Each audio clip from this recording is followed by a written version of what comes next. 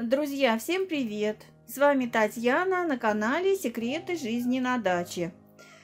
Значит, томатики мы с вами высадили. Прошло уже 10, 12, 14 дней. Томаты прижились и начали зацветать. Выдали бутоны и начали зацветать. В этот момент нам нужно обязательно их подкормить, чтобы первая цветочная кисть не опадала.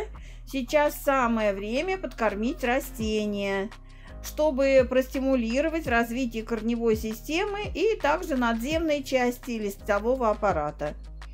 А, это значит нужно сделать после высадки растений в грунт. А, если вы даже положили достаточное количество органики, все равно этого мало. И томаты надо подкормить э, именно вот на этой стадии.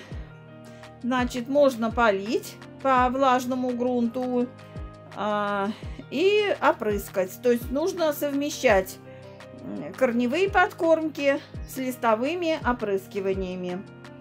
Значит, сейчас я полью минеральным удобрением, любым, какое есть. Можно э, комплексным минеральным удобрением, можно кальциевой селитрой, можно монофосфатом, любым, любым, любым удобрением.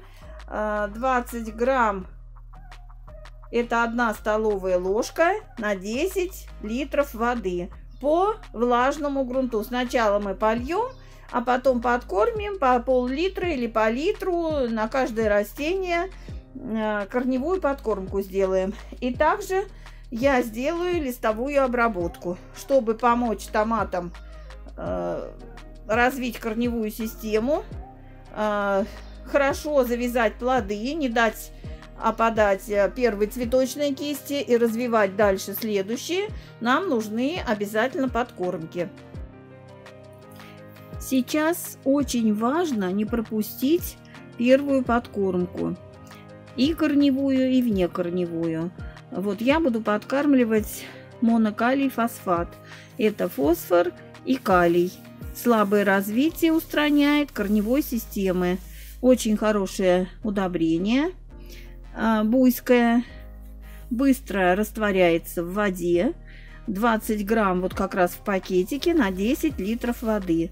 Если у кого-то большая расфасовка, значит 20 грамм это 1 столовая ложка на 10 литров воды.